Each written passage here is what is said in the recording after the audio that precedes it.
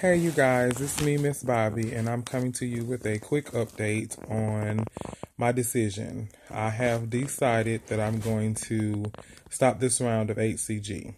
I am not pleased with my results, and it's not the product's fault. Um, it's not even my fault, really. I'm doing protocol, but I'm living with a stress factor. It's a really, really big distraction when it comes to doing anything for me, for me, about me, because of me, to better me. Um, so until I get rid of this stress factor, I will basically be setting myself up to fail. I have uh, I've tried everything to um to let this factor turn positive in my life and it's just not. So, if it's going to continue to be a negative force in my life, a negative energy, um, this basically is detrimental to me, to my emotional status, to my mental status, and definitely to my physical status. So, all around my well being is in jeopardy when I'm dealing with this individual person. Yes. And I'm really tired of going back and forth with trying to convince myself of anything other than what's right in my face right now, which is I'm unhappy with this person. I'm not pleased. And then, truth be told, neither is he. So, hopefully, within the next 30 to 60 days, and that seems like a very long time, it is because I've been dealing with this for seven long months. But, um, somewhere between the next 30 to 60 days, I hopefully will be completely done with this factor. I don't know if it means that uh, he'll leave voluntarily within the guidelines of when he receives his 30 day notice, or will he do like he's done before and just up and roll out? And if he does, I'll be smart enough to not let him come back this time. But or does it just mean that when I decide to put all my shit in storage, he doesn't have a choice but to leave because I'm giving my landlord the keys? I don't know. I don't know what's going to happen. I do believe that because things have already gotten really, really bad, I'm scared to say that I think they're going to get much worse before I see a relief in anything.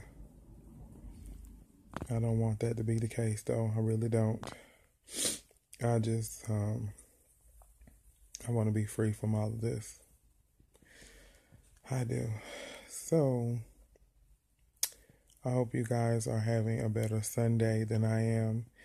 Yes, HCG is over for now, not for long. I'm only a week or two away from, uh, I was only a week or two away from changing products anyway. So, when my mindset is a little bit better, I'll come back and give you as much information that I'm as I'm allowed to with their guidelines and rules and regulations with the new company. I'll give you as much information as I can once I go through all the rules. And I'll let you know what the process is going to be for me um, trying HCG again or whatever products I do try in the future. I, I, I enjoy vlogging. So I would definitely do that. And I hope that for the ones that um believe in a spiritual, higher spiritual being, that you pray me up because I need that right now. I'm going to um, try to wrap my mind around a positive future because that's what I want.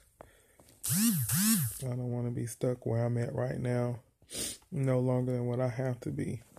I'm sorry. But um and I wish I wish the gentleman in my life well. He's a good guy. He has flaws just like we all do. In regards to what he decides to do, I want him happy in the future. And I know that whether he changes now or later, he's going to one day be a great guy for somebody. He's just not it for me. So,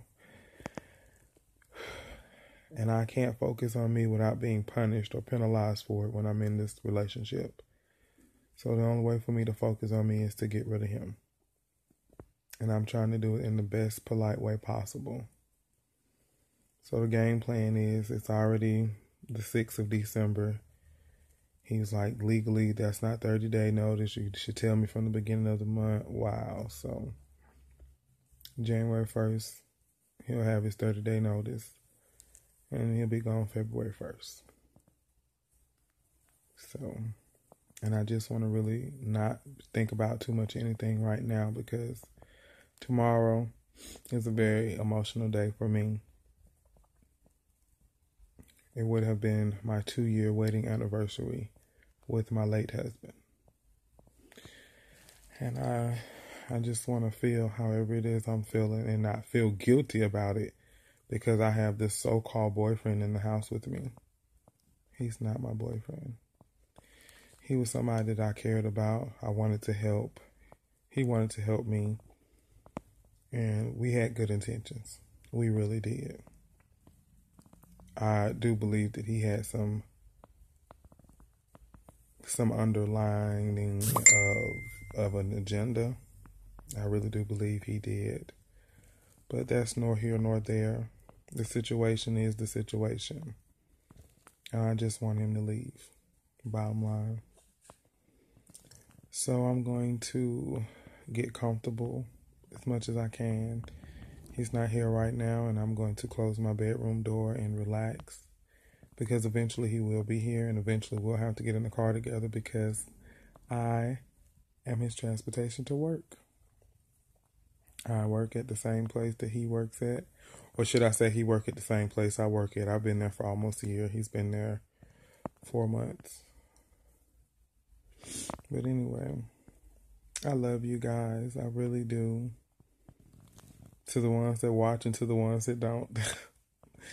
Y'all all have a great and blessed Sunday.